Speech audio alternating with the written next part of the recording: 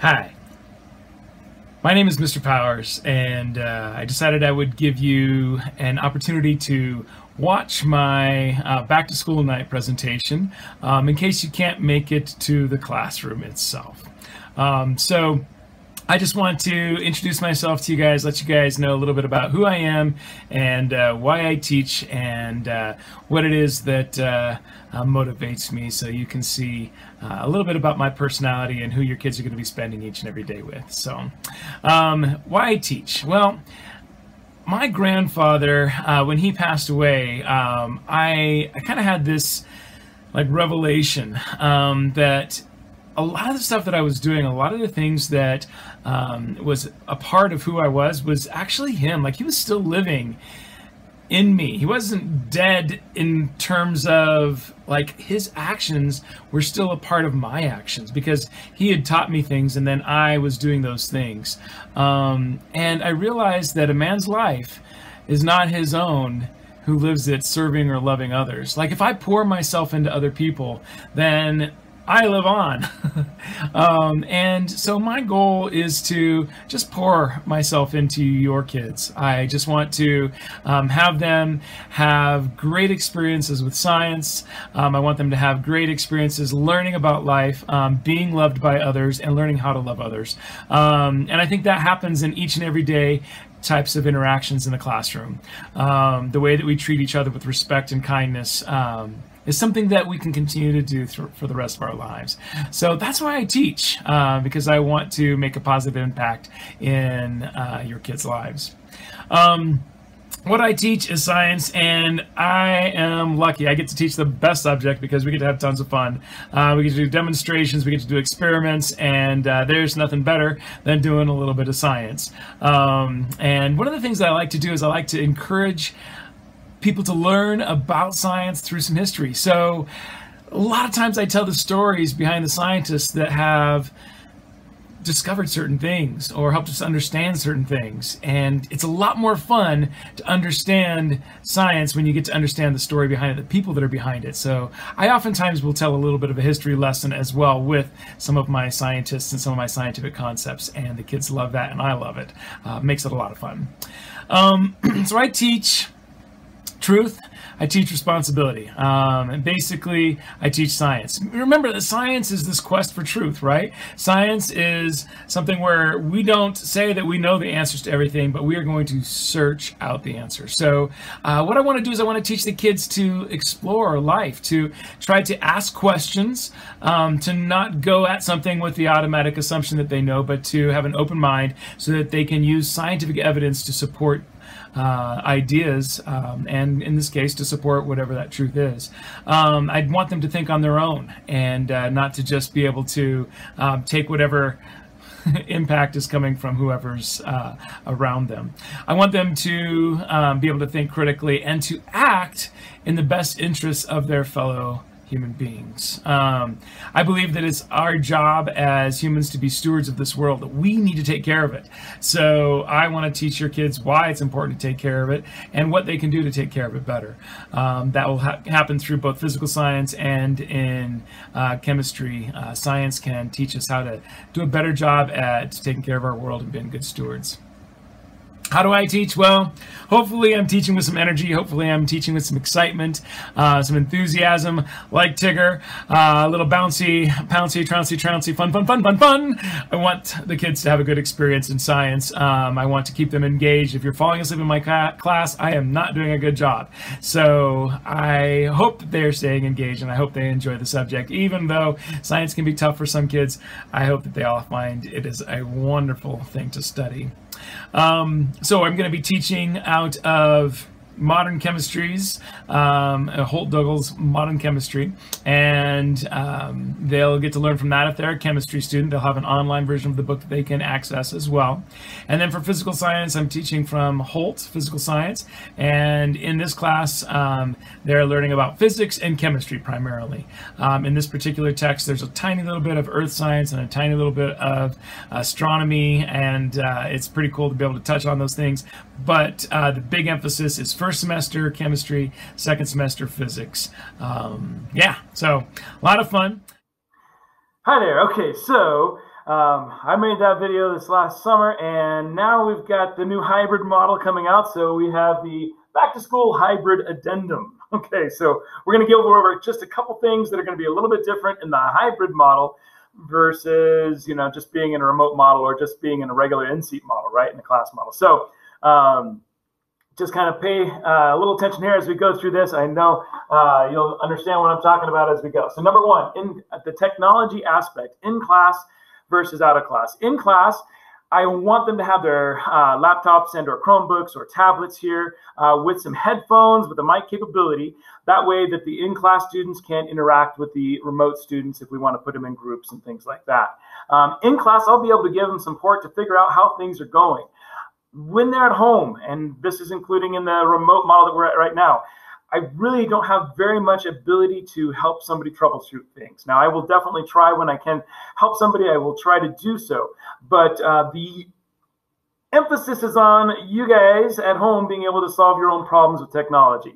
Um, we are not, as teachers, tech support people, uh, you know, to start with. So, and then we are having a lot of trouble on our own with our tech problems. So, um, unfortunately, we're just not geared up to be able to do a lot of that. So, um, please try to do the best you can to help your kids figure out uh, how to, you know, get onto Zoom and do this and do that with the, all the different things we're asking them to do. Uh, see if you can help them to do that yourself. Okay, sorry.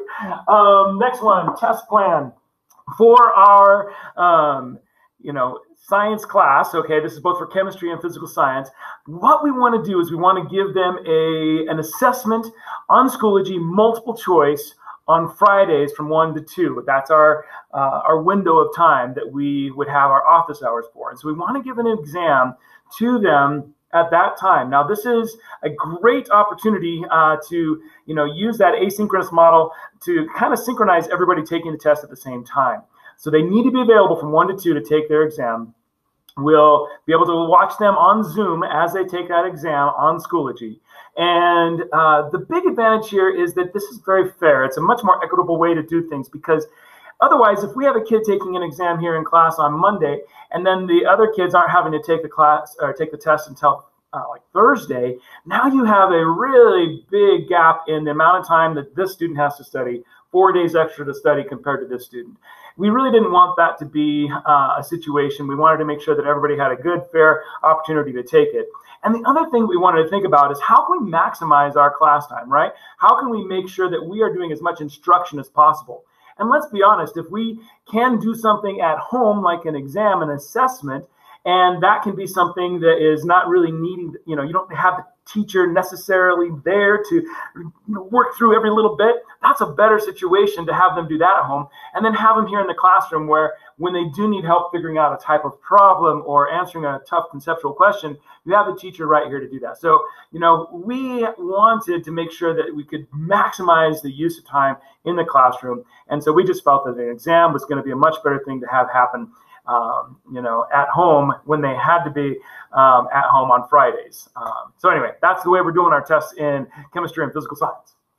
All right, participation. One of the things we've increased our participation uh, points, we've decreased our test uh, points. So, um, you know, because of the online environment, we know that it can be difficult. Um, and so we said, you know what, let's try to, you know, bump up some points in the places where we can, where, you know, they got to log in every day and be there in front of the camera and sit there for all those hours.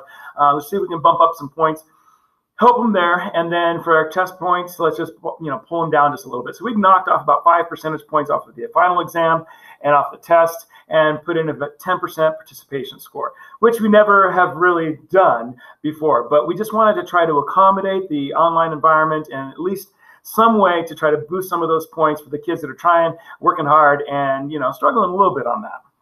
Next one, communication. Chris.powers at jeffco.k12.co.us. That's the email we want. Um, I want you to communicate with me on. Um, the number of emails that we are getting um, from all the different, different, programs that we have and all the different submissions of this and that and the other, it's very overwhelming. Um, and so, you know, this is the best one because that's the one that, you know, kind of feeds in and, and has less of the junk mail that we have to sort through. So I'm more likely to uh, respond to that one a little bit sooner. But also just remember that it is difficult uh, to get through the barrage of emails that we have. And so I'm going to try to get back to you as soon as I can. As you email me. It does sometimes take a little bit longer than I would like it to. So, and I'm sure that you would like it too. So please be patient as we try to get to those emails as fast as we can. Okay. And then uh, this last one, another interesting thing that we're doing. Again, for the remote environment, we're trying to accommodate some of the difficulties. So um, we're implementing a late pass um, this year, which is three late passes basically where if there's some sort of technological glitch or something where they're having trouble, um, they get an opportunity to just get, you know, uh, 100% still graded on that exam. In the past, we've done, you know, you get 20% off the first late thing, 50% off the second late thing, and then from that point on, you basically only get one point. Well, now we're going to say, hey, you can get three chances where it just is totally messed up and you couldn't get it in, but we're still going to give you 100% if you earn that. Um, and However, if it goes beyond three, then you're just going to get a zero. Uh, again, one of the most difficult things that we're finding is, you know, trying to get late work graded. We don't even know when it gets turned in a lot of times. Um, and so what we need is we need in all caps, late pass, an email sent to this address. and that email with all caps in the subject line will alert us, oh, wait, they're turning in something late that they didn't have turned in before. Um, then we can go back through and check it. And it just, it's an arduous, long process to go find that assignment, to grade it, to put it back in. Um, once you've gone through it all, it's just kind of crazy. So um, if you can please make sure that your kids do late pass in all caps in the subject line when they're turning in something late, then we can go back in and find it and get it graded. Um, but after they've done three of those, if that happens three times, hopefully it doesn't, um, then from that point on, it's just going to be a zero. So tell them to be um, working ahead to get that stuff done, to make sure it's submitted on time, because if it's not, then if they have a technological glitch at the last second, instead of you know seeing it an hour or two hours before where they can kind of deal with it, then you know that's going to be tough on them. So have them work ahead of time just a little bit. Okay, so those are my hybrid addendum points, um, and uh, hopefully. with this learning experience that is going to be hybrid, um, you know, hopefully we can just kind of manage our way through the best that we can. Um, I'm excited to get kids in the classroom. Um, I love to have the kids in the classroom, and it's so hard to have them away.